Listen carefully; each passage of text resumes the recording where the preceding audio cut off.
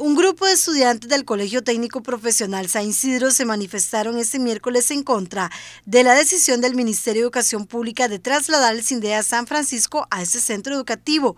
Los jóvenes salieron muy temprano y caminaron desde el colegio hasta la dirección regional, donde junto a algunos padres de familia se hicieron reuniones con funcionarios para aclarar algunas dudas. Chicos que tenemos aquí adentro de la, de la sede regional del MEP, este, somos los representantes, una comisión que hicimos este, nació el viernes pasado cuando llegó a nosotros la resolución del MEP que indicaba el traslado del CINDE al CTP San Isidro.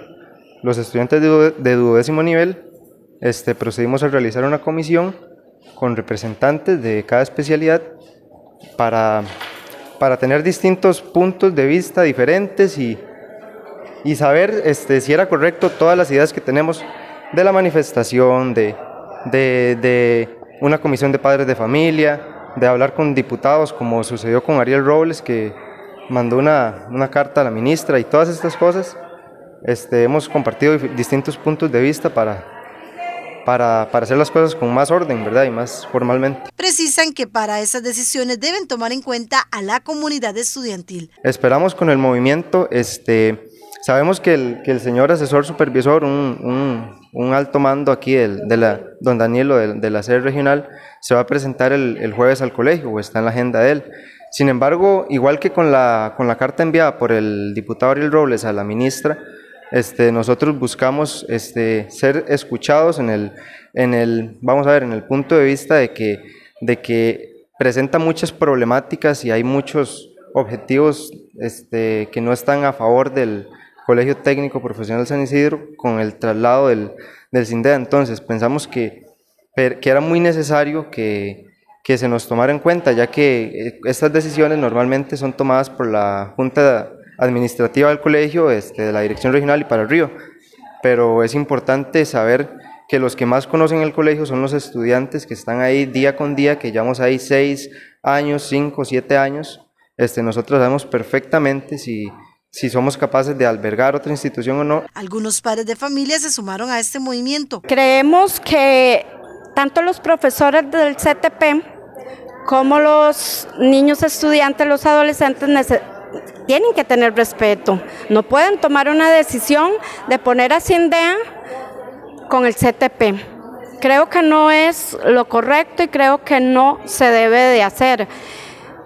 En el nombre de los profesores, del CTP y de los adolescentes, de los estudiantes del CTP, le pedimos a la ministra de Educación y al presidente de Costa Rica que por favor nos colaboren con este asunto. Vemos que no es correcto que reúnan todos el CTP con el CINDEA.